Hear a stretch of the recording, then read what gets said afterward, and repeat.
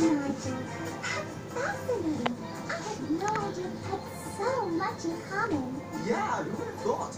And you know, I think this is the first time I'm actually relaxing in it, instead of constantly thinking about missions and stuff. Although I'll probably keel over have another smoothie.